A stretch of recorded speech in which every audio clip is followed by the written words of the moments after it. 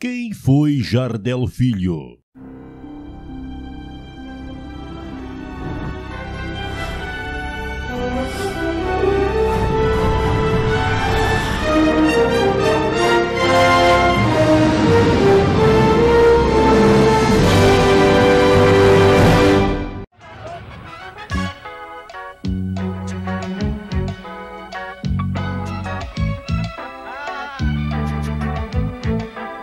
Nascido em São Paulo no dia 24 de julho de 1927, Jardel Frederico de Boscoli, ou Jardel Filho, como era conhecido, foi um ator brasileiro. Ele, que foi aluno do Colégio Militar do Rio de Janeiro, estreou no teatro aos 16 anos com a peça Desejo, de Eugênio O'Neill, em montagem dirigida por Zygmunt Zimbinski pela interpretação, recebeu o prêmio Revelação do Ano. Com a morte do pai, levado pelas mãos de Miruel Silveira, Jardel entrou para o teatro na década de 40 e nunca mais largou a carreira artística.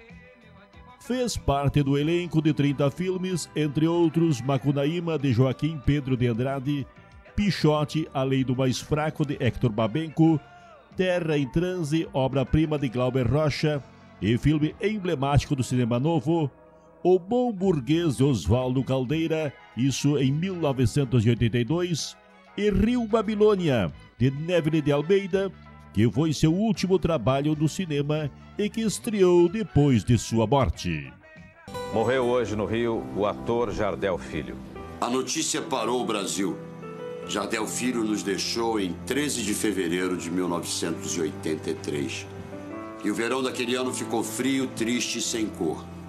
Quando saiu de cena, Jardel vivia seu auge no papel de Heitor na novela Sol de Verão. Meu Deus, logo de manhã vai estragar meu dia. Não, senhor.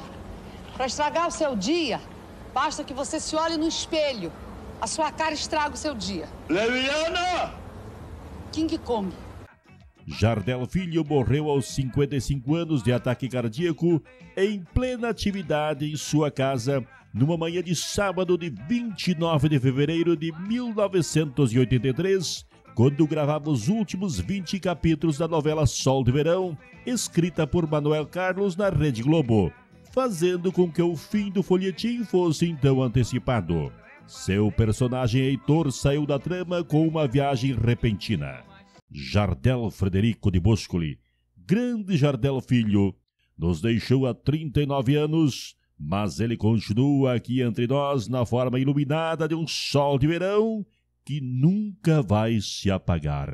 Eu me considero um homem feliz. Feliz porque eu procuro construir no dia a dia essa coisa maravilhosa que é o relacionamento humano com minha mulher, com minhas filhas.